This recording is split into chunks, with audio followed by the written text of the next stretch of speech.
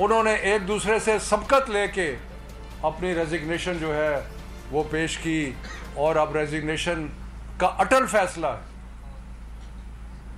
और ये जो इनकलाबी उभार है, अब आप देखेंगे कि कल पिशावर में जलसा है।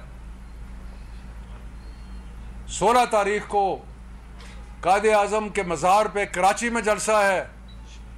और मैं अपने पंजाब के और लाहौर के साथियों को ये खुशखबरी सुनाना चाहता हूँ कि 23 तारीख को मीनार पाकिस्तान में इंशाल्लाह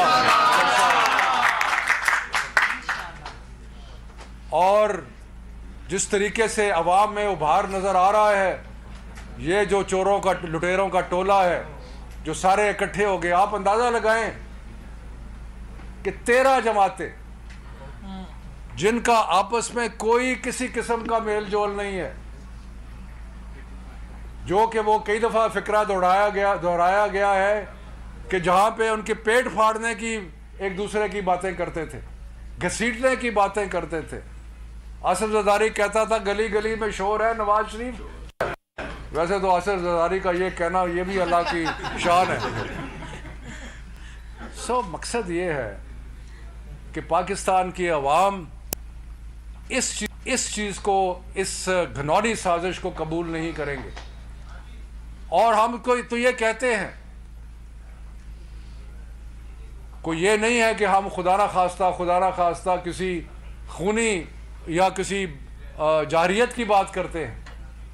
हम कहते हैं कि जब किसी भी जमहूरियत में ऐसे हालात पैदा होते हैं तो उसका एक ही हल है। और उसका हल ये है कि अवाम के पास वापस जाए। उसका हल ये है कि जो अल्टीमेट सॉवरन है, उसके पास वापस जाए। और जाके अवाम से इलेक्शन के ज़रिए अवाम की राय का का इजहार का मौका दिया जाए अवाम को। और ये लोग जो पहले थकते नहीं थे कहते हुए कि जी तहरीक इंसाफ तो ख़त्म हो गई है, तहरीक इंसाफ का तो कोई कोई सपोर्ट नहीं है। इमरान खान साहब बाहर निकलेंगे तो उनको पता लग जाएगा मेरा ख्याल है अब आपको पता लगा है। आपको पता लगा है कि अवामी सपोर्ट क्या होती है।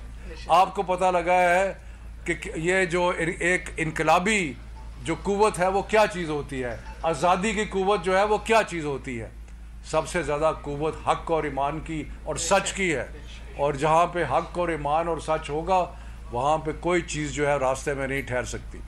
तो अब भी इस खटपुतली इस ऐसे वज़ी अजम को, जिसके ऊपर अरबों रुपए के केसेस बने हैं, जिसका कल, जिस दिन उसने ओथ लिया है, उस दिन उसके ऊपर चार्ज लगना था कि ये मकसूद चपड़ासी के अकाउंट में चार अरब रुपया कहाँ से आया, वो देखें कि क्या एक शुमिया किस्मत है हमारे मुल्क की कि वो शख्स एक करप्ट लुटेरा जो है वो कल उसने ओथ लिया।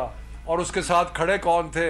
आसफ जरदारी खड़ा फजल रहमान खड़ा ये लोग खड़े जिन्होंने सारी पाकिस्तान तहरीक इंसाफ के रहनुमा शफकत महमूद लाहौर में मीडिया से गुफ्तु कर रहे हैं।